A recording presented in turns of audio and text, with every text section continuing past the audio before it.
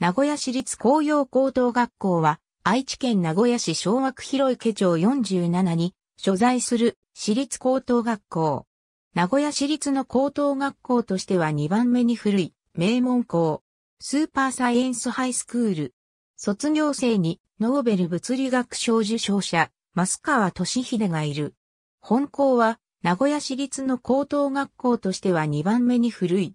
落ち着きのある校風で生徒の自主、自立を尊重し、生徒会活動や部活動も盛んに行われている。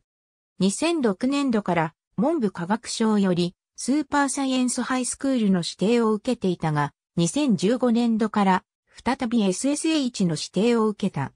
また、同年から普通科に加え、三河地区からの進学も可能な専門学科である国際科学科を新たに開設した。周辺は閑静な住宅街で名古屋市立大学や名古屋市博物館等もある。複合選抜制度下では終わり学区第2軍 A グループに属している。1次元65分授業を採用し、1日5次元の授業が行われている。SSH の後継として2015年度から併設された進学科で愛知県内の公立高校で初の高度理数系教育を行う学科である。なお、H27H31 まで第2期の SSH 指定を受けている。国際科学科の特徴として3年間にわたる研究活動、大学や研究機関、技術系企業との連携、理数系の専門教育等がある。研究活動では日本語のみならず英語での発表も行い、通常授業に加え発展的な理数系科目や科学英語の授業も行われる等、国内の難関理系大学はもちろん海外の大学への進学も視野に入れている。さらに、最先端の世界の科学についての見聞を広げるために海外研修旅行を予定している。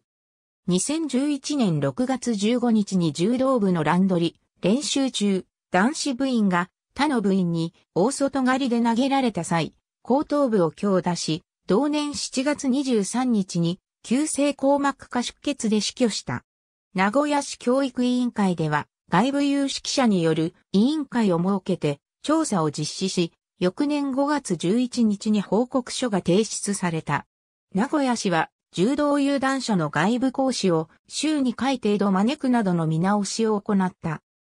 Https コロンスラッシュスラッシュ www.nagoya-c.ed.jp スラッシュスクールスラッシュ KOYO-H スラッシュ A が移動 HTML 名古屋市立工業高等学校名古屋市立高等学校柔道事故調査報告書安全対策の取り組み状況名古屋市名古屋市の工業高校で1年生の柔道部員が練習中に頭を打ち、1ヶ月後に死亡、指導方法に問題はなかった FNN2012 年1月17日。ありがとうございます。